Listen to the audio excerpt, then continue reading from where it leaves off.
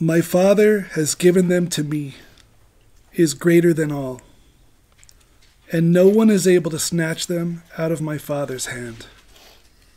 I and my Father are one.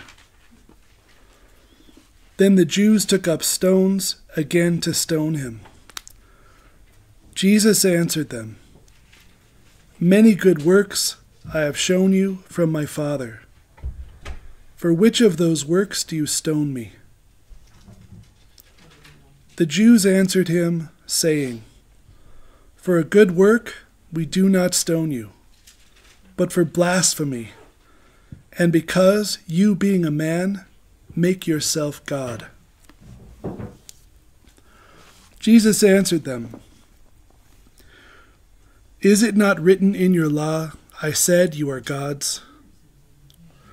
If he called them gods, to whom the word of God came, and the scripture cannot be broken, do you say of him, whom the Father sanctified and sent into the world, You are blaspheming, because I said I am the Son of God? If I do not do the works of my Father, do not believe me. But if I do, though you do not believe me, believe the works, that you may know and believe that the Father is in me and I in him.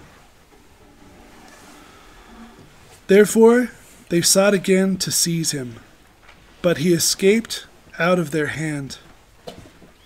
And he went away again beyond the Jordan to the place where John was baptizing at first, and there he stayed.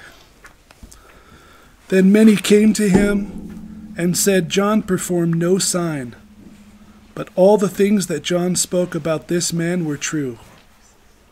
And many believed in him there. Okay, we could we could start.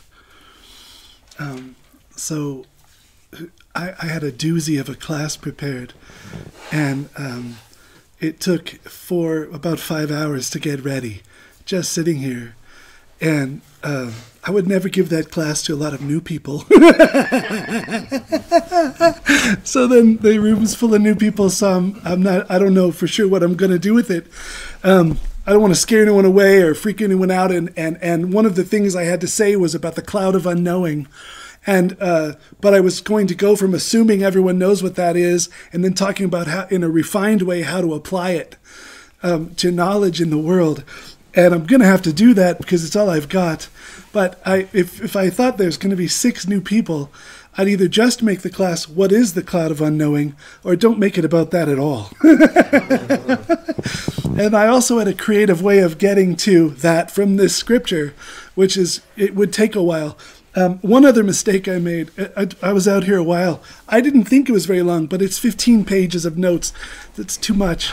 So everything, everything's a mess, for sure. Um, I, what, I think what I'll do is I'll turn this whole thing into a video in the next couple of days, then just try to wing this one best I can.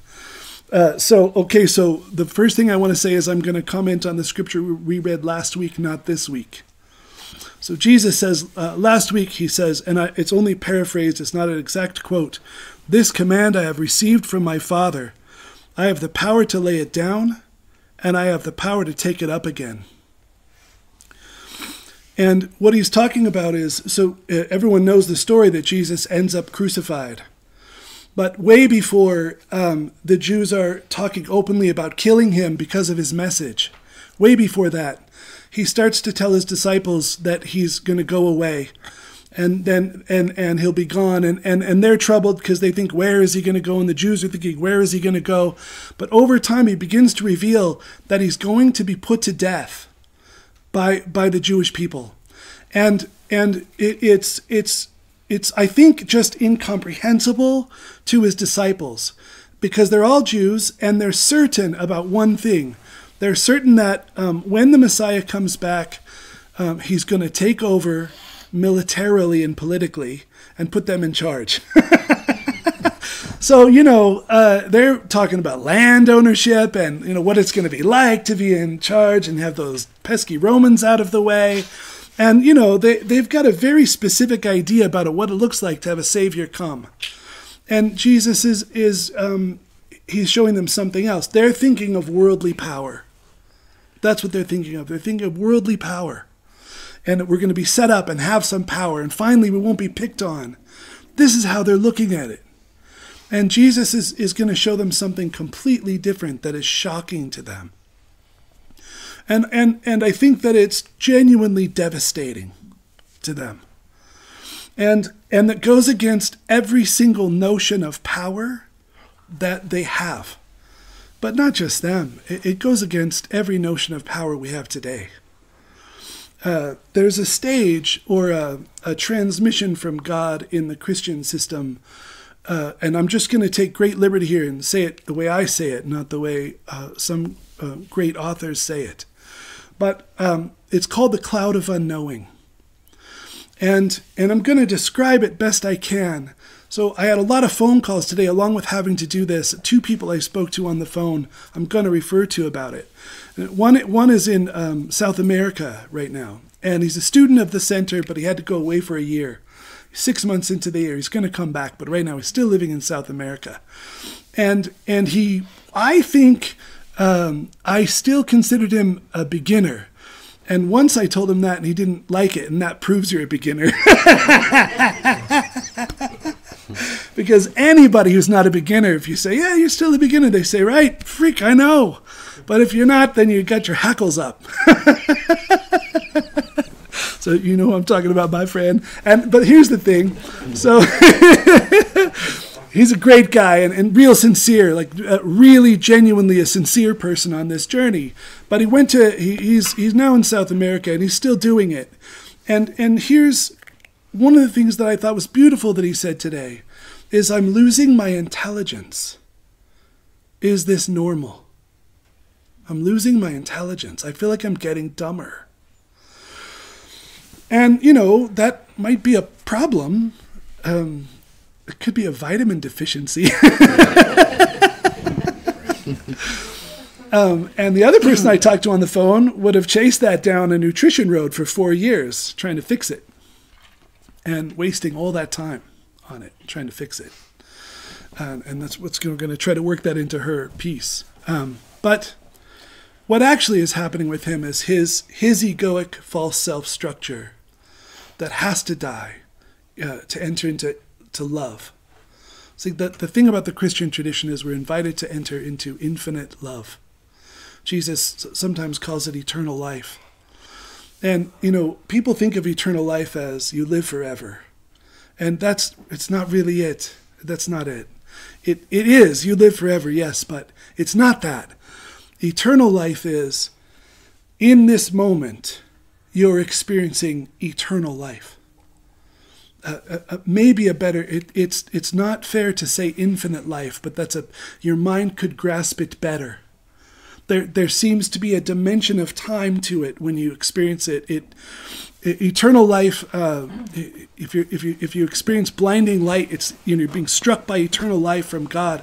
You've opened to it. If you if you look into these rays of light that are shining on you, they go out forever and ever. You can you can you can see somehow. I don't know how to explain it, but you can see that this light goes on forever. It's eternal, and it's infinite. And what Jesus is inviting people into, and you don't have to wait till you die to go there.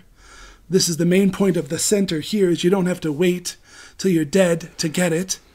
Is he's inviting people to eternal life, to infinite eternal love.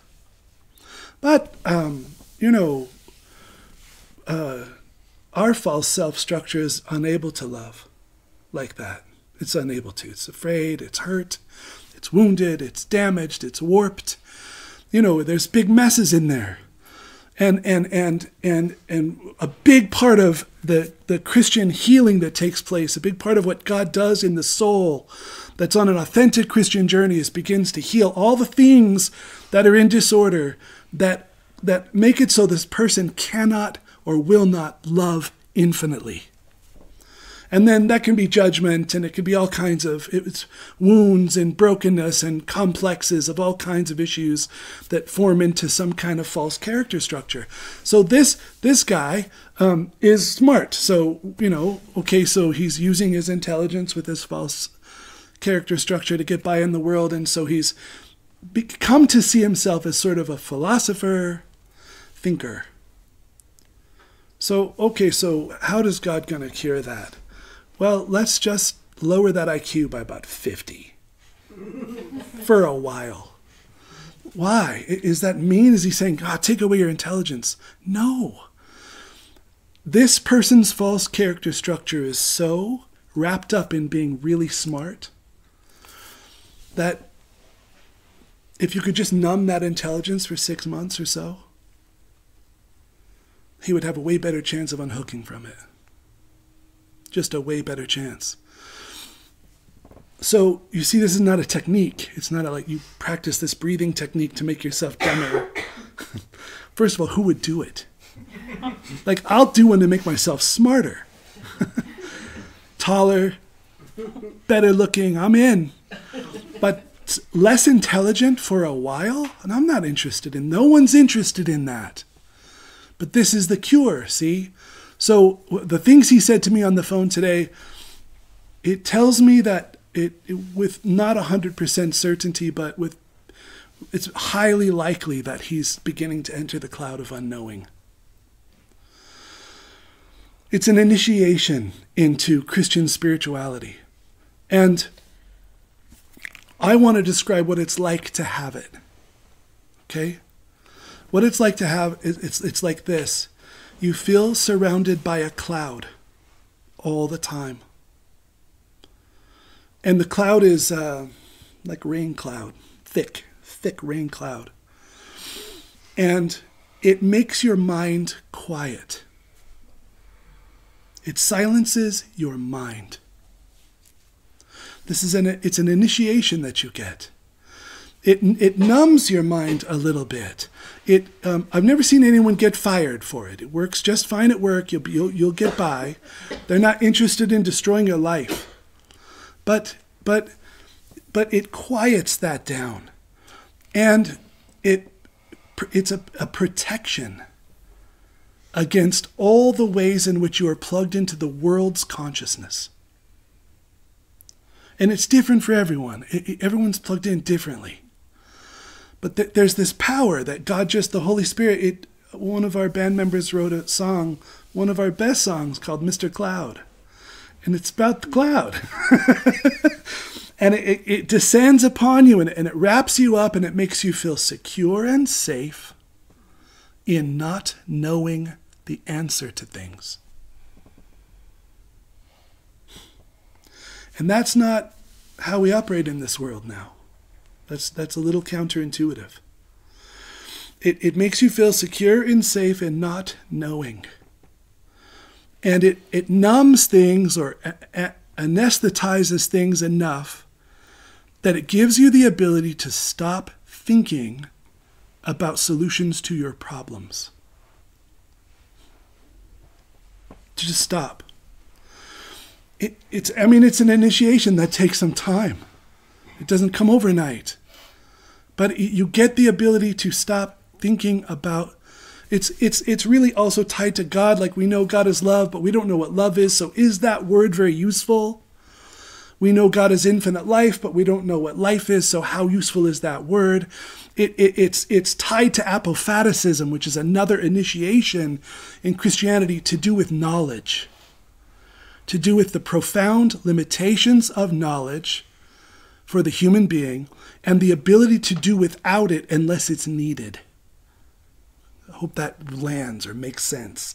So then, a person that, you know, if I wake up, I don't have thoughts on my mind. I don't have thoughts running through my mind when I wake up because I've been initiated into the cloud of unknowing. So I don't have to think unless I want to. I mean, there's there's limits to my ability to say that as a true statement. But it's it's profound how much I don't have to think unless I want to be thinking. So then so so then what a relief that is. Think of what a relief that is. You're just sitting here, right? There's no you're driving your car, there's no problems, but you can't stop thinking about problems. Think, think, think all the time. Problem. There's no problems. It's not happening, but got to think of it all the time. see that's a problem right? That's a big so the cloud of unknowing comes over and it and it heals this. But in one of the so that's this guy. He's getting initiated in the cloud of unknowing. If he goes through that and comes out the other side i'll never say you're a beginner again. Why? Well because his it, to do that the whole like thing he created to be okay in this world. Very, very smart and very a philosopher, deep thinker, filmmaker. That that false person he invented to sort of cover up for insecurities and the meanness of people and all you know, just all the dangers of the world. That person will be dead if he goes through this. He will have died with Jesus on the cross. He'll be gone or he'll be dead enough that it can't sway his life anymore. And I, in speaking to him on the phone, you never know for sure, but he, all the buzzwords of making it on that way is happening to him. Um, he's not doing it, which means he doesn't like it. like you know, if, if I could like visualize that happening to me, I'd be comfortable with that because I'm making it happen. But he's on the Christian path, which means it's happening to him. then it's a little creepy. Just a little, ah, I don't want to be dumber. I feel vulnerable not walking into a room being the smartest and most insightful person in the room. I don't want to feel like that. Like I'm not. That's what, what I did. I had insecurities I could keep at bay by being the smartest. You know, it could be the prettiest, right? Or the strongest, or the the most scoffing, just the disdain for all things that you dummies are into. I mean, you know, we all have just whatever way we can to get by in this world and feel safe. And but all of it is false, so it has to go. So that's what's happening to him. But the cloud of knowing could come another way. And, and on the other phone call, um, a, a, woman got on this path, and um, who I think is doing uh, amazingly, just so neat. Um, and but right off the bat, you know, a person whose character structure was I'm the one that's stable and I'm there to serve other people because other people are really have been messed up in my whole lifetime and I've been solid and strong. I'm the stable one. I'm the I'm the helper, the the servant. All of a sudden that false character structure that can't enter union because it's not true. It starts getting challenged by problems. Uh, physical disorders that keep arising and are hard to find the cause of, and emotional disorders that keep arising. And so now, so that character structure has found its self esteem by being the stable one. I'm the stable one. So now all of a sudden, God just goes, tink, you're no longer the stable one. Let's reveal all the disorder that you've been keeping at bay by that.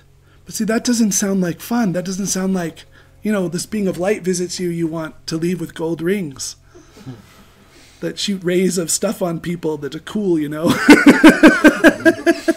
you want to leave with superpowers and you leave with like you've been diminished. You've been you've been diminished. You something's going away. So her uh, way of navigating that as a beginner who hasn't yet surrendered to it was to um, invest lots and lots of time in learning what these disorders are and how to fix them with nutrition. And the thing about that is you you uh, enter a world that is what we call materialism. So every every cause has a physical reason and a physical solution. So now every symptom you look it up, well, this is a deficiency in this, and if you take this with this, that'll fix it and you can and and see you can chase that forever. And you know uh, some of it's a little true so they get a little bit of benefit but there's also like your soul's pretty powerful so placebo effect. You're being told this will fix it so you fix it. So now the disorder god revealed in her to heal her is now getting fixed. Or try, or or she's spending all of her time trying to fix it with external means. External means, by the way, that don't even recognize the existence of God or the soul. So, so now you've got this vehicle that is spirit and body in relationship with infinite God. and you're leaning on a paradigm that is materialism, that doesn't even recognize the existence of God, and sees everything as a mechanical problem to be fixed, that's, that's a God slayer. That's a God killer. That kills God. It, you can't enter a paradigm and take it on yourself and live it that is atheist in nature and not be poisoned by that and not have your soul diminished by that. So then how in the heck it, see the danger here it, it, and like like um nutrition's okay. But but what she's doing with it isn't okay. Not at all. Because for certain god tinked her to get her off of her perfect strength and show her some weakness where she could find some surrender and some humility and some need for help. And um, when we got done talking, I thought, I did that with crystals. I was a crystal healer before I found Jesus, and um, I had, you know, problems, energy problems and psychological problems and emotional problems. And there was a crystal for everything. And I got really good at it. I mean, I spent hours and hours a day at it. And I think most of it is placebo and some of it there's some legitimate stuff. But here's the thing I got where I was always happy. Always. And I always felt joy. Always. And that was a, essentially the absolute end of spiritual growth for me. I fixed it all. Just fixed it all. So then, how's God can't reach me? And it's not as if those things really went away. I just felt other things louder. Just joy was really loud. The other things were still there, but if you got enough perfume, you can't tell. So so it's it's the same. I did it with crystals, what she was doing with nutrition. And then she started having sleep troubles, and it's like that can be bad. And I you know I I, hear everyone don't hit me, but also the monks and nuns say sleep is an addiction. Sleep as little as possible. You'll get enlightened much faster if you do. So she starts getting some insomnia. Got to start fixing it right now. Right now. I mean, sleep is the new God. It's like the everything is sleep. If you don't get perfect sleep, everything's bad. I, I can't relate to that. It, God keeps me awake for sure. So that the next day I'm softened and I enter into heavenly places while I'm walking around. And perfect sleep means I don't hit those places. So it, so don't stop sleeping because that would be self-will. I'm just saying when it happens. When it happens. There's something there to learn. So then this materialistic materialism worldview, it's everything is a physical cause, physical cure. Uh, we can't fix it all yet. We don't even know if there was all just physical causes, but we've just assumed it. And it gets you chasing this this answer where you control everything and where is God in that? Where is God? Where is God in that? So then, you know, this person, and uh, uh, you start, you know, I told her I would hyperbolize and, and add, so no lies. But this this person now, this hypothetical person maybe, um, they get it nailed, man. They got, but they've got, but you got to do it just right. It's you're you're you're back in the law of karma you certainly aren't living with forgiving God. There's like a right way to do it, and if you get it wrong, it doesn't work out. So you just got to get it all right. So now they're living a rigid, rigid schedule. Everything is rigidly scheduled to maintain a state of mind God probably doesn't even want them to be in. Probably. Almost certainly.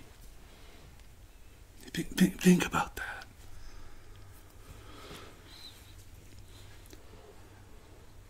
So this is one of those this is why i wouldn't say anything of this to new people. Not you're new you might be a master but i'm saying new here you know.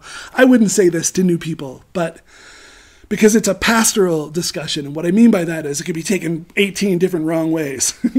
You just can't run with it after this discussion. You just can't. There has to be discussions about it with your spiritual director but this but i see this all the time and essentially you can take a materialism worldview take a materialism solution to that, to the problems in that world, and you can um, you can rigid, you can get to a point where your whole life is structured by rigid materialistic uh, principles, and there's no room for God to act in your life at all. Very little room for God to act in your life. Okay. Would never say that to new people, so sorry. Very sorry.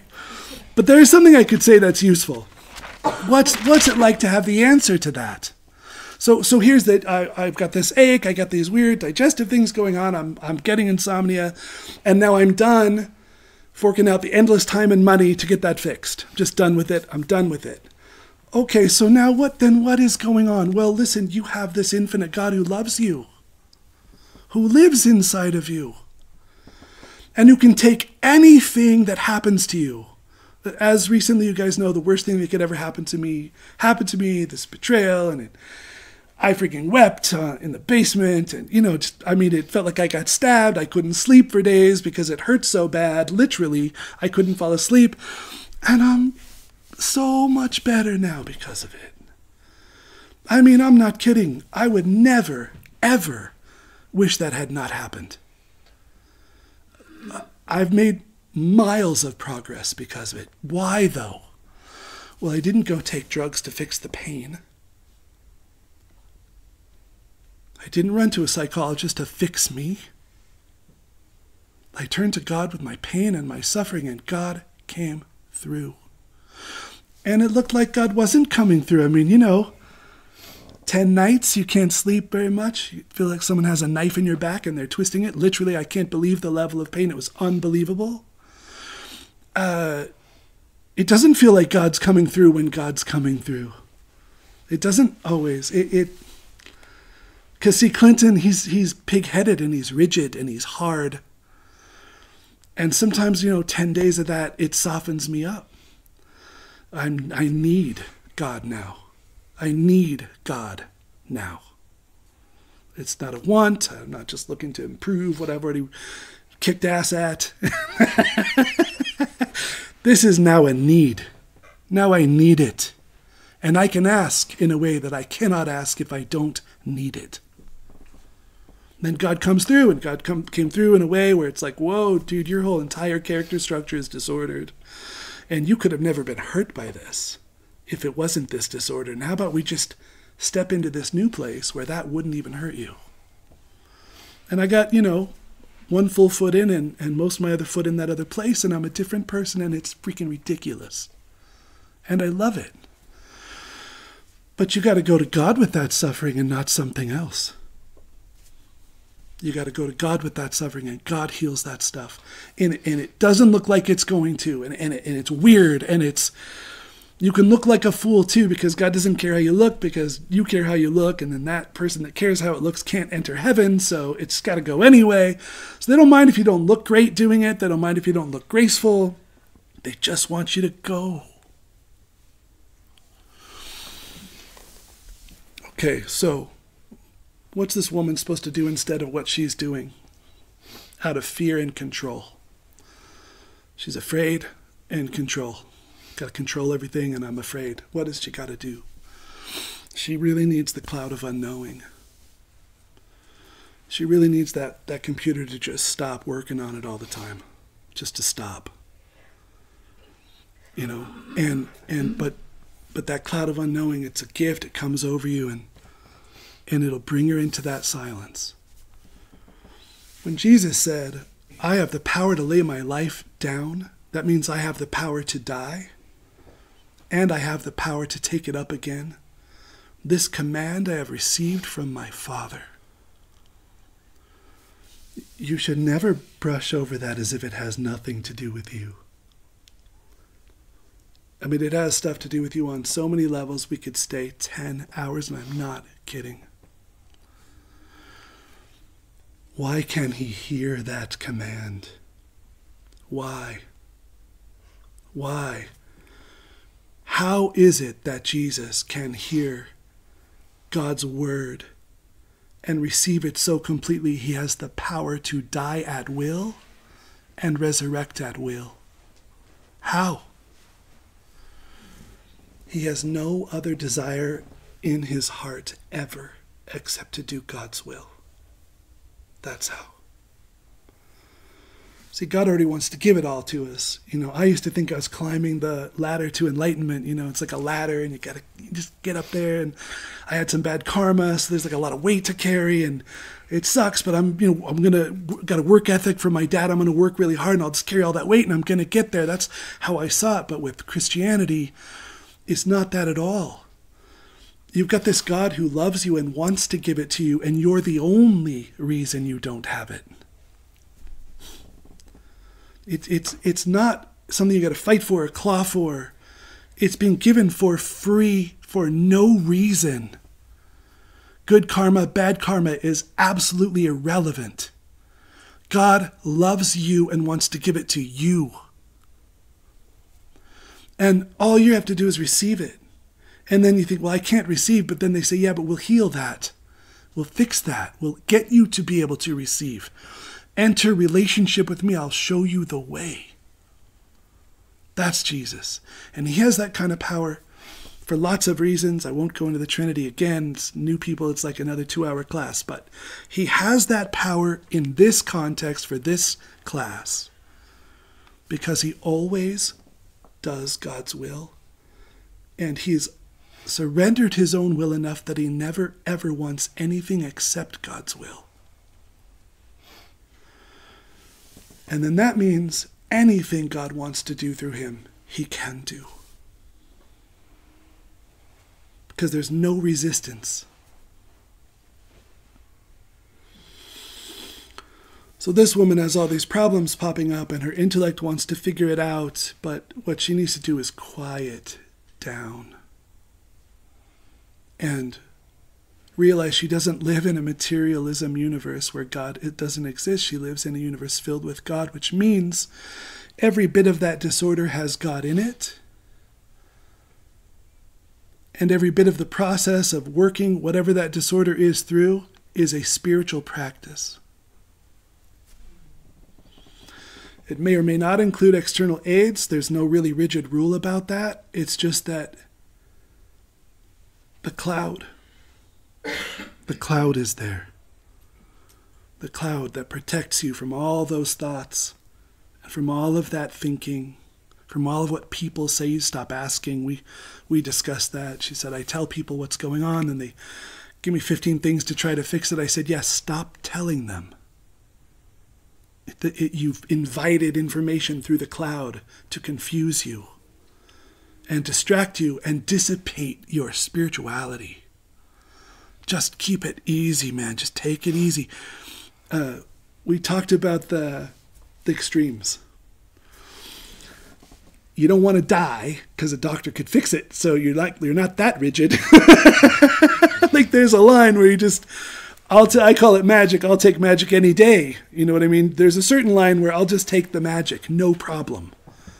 I'm calling Western medicine magic.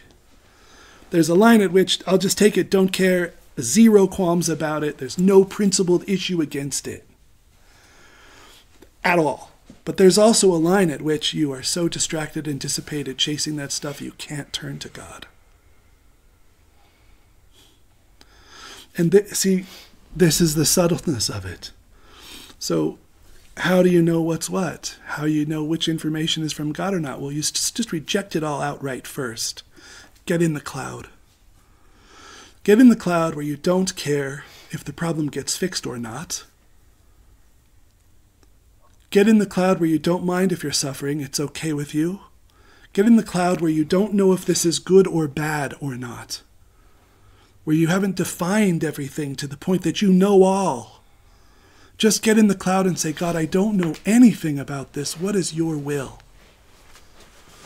If you're in the cloud, and you mean it, the grace of the cloud comes over you and you just won't find yourself having to think about it all the time. You just don't care. You care, but you don't care. It matters, but it doesn't matter. You wouldn't mind knowing if God wanted to tell you, but you don't need to know. You'd like these symptoms to end, but if they stay, I'll live with them. It's no big deal. If they help me in some way, I'd rather have it.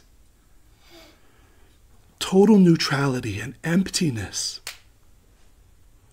When Jesus said, I only will to do God's will, he's also saying, I don't want anything else in this universe. That means he's never pulled by this and that. He's in the cloud. So then, if you're in that cloud and you don't have to think against your will, and you're not trying to solve your problems with your mind, because you know that you're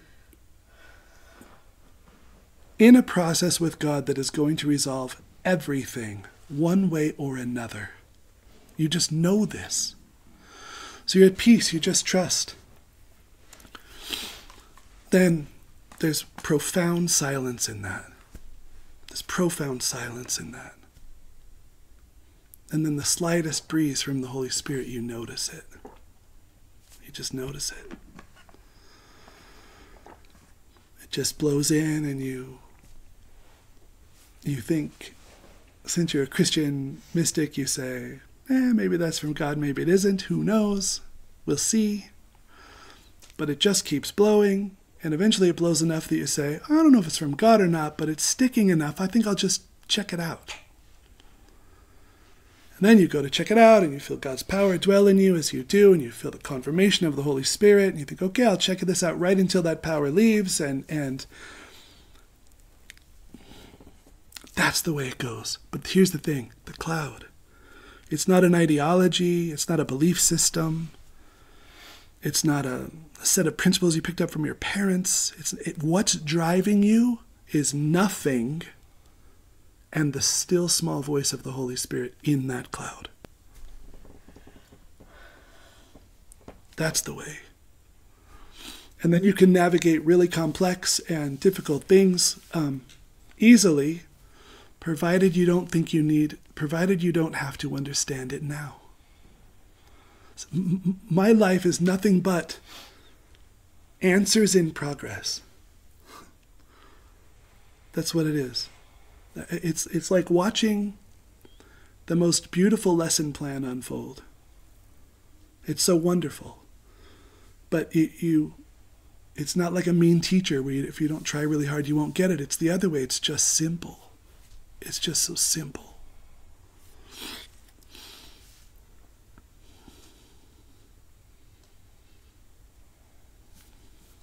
Uh, I don't know if you ever read the Tao Te Ching. Uh, it's kind of the closest thing to Jesus I could find from Eastern spirituality. And um, one of the things it says, which I think is just freaking ridiculous, is that uh, great skill, great skill appears clumsy.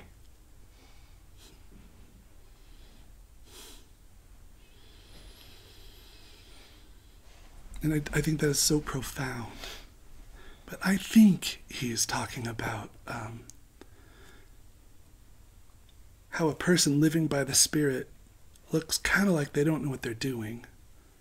Because they don't. They don't.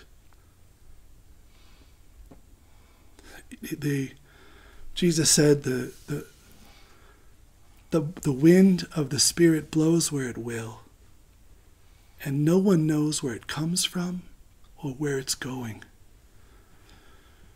So too is the person born again of the Spirit.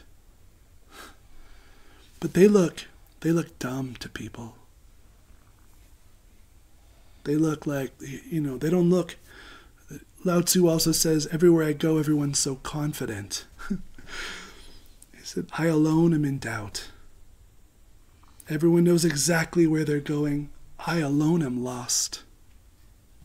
He goes on and on. All the things we think are great in the world, he's calling them sin.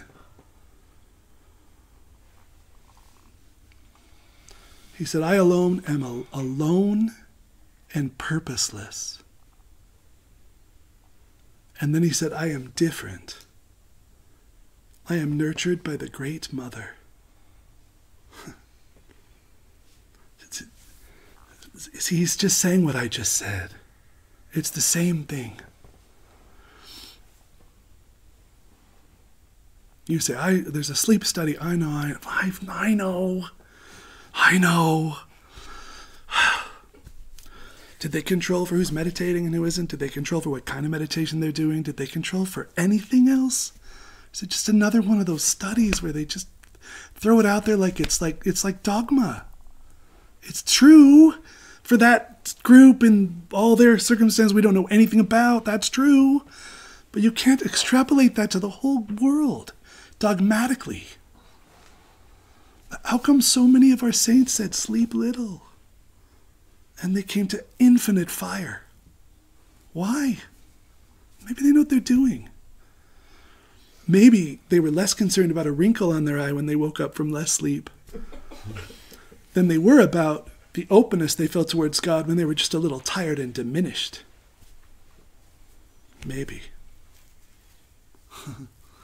you know, materialism's goal is just health and vitality and uh, maybe some money and, you know, beauty if I could get that. And I wouldn't mind some cars. You know, there's like this thing materialism's looking for. And it's like, dude, you're going to die. You're, I'm 52 now. That's it. Like I'm there's less time now ahead than behind. I'm going to die. What am I doing? Trying to like stay young or something? I don't, it, it doesn't make sense. How about I use this life I have to attain union with God in eternity rather than attain that? This is why Jesus is different for this class. There's other reasons that are bigger. But for this class, this is why he has power like that. Because he's got no other voices, none talking. None. And he didn't master his mind through discipline. He surrendered his will.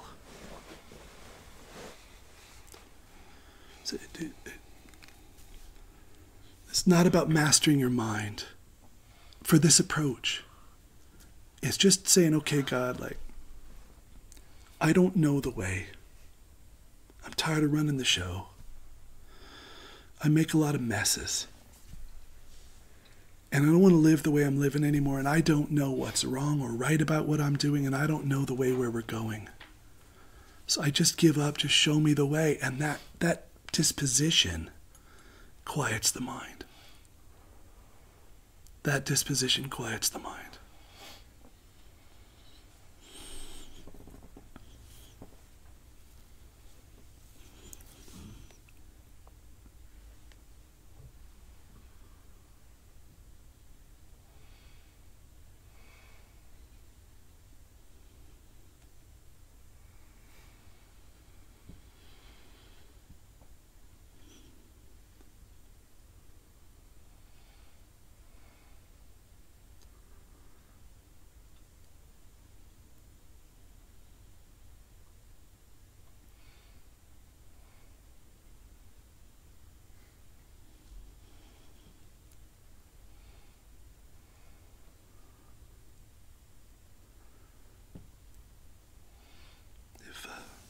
You're if you're wondering, well then, well, maybe I don't want to give myself to this God that might be a, a jerk, you know.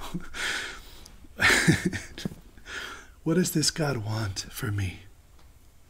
You know what? And uh, I don't know like what color of shirt God wants you to wear, and I don't know what job God wants you to have. I don't know, man. But I know what God wants you to have ultimately. We know for sure what God wants you to have ultimately. We don't know the form it should take, but we know what God wants you to have.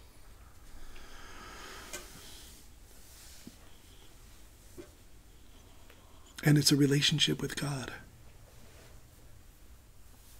A relationship with God. The one true God that was not made by any other gods, that was never made, but that has always been,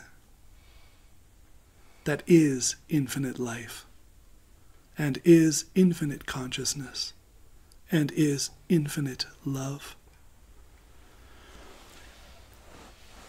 And that infinite power wants to know you so deeply and so profoundly that you glow with its fire. That you share in its consciousness. That's what it wants for sure.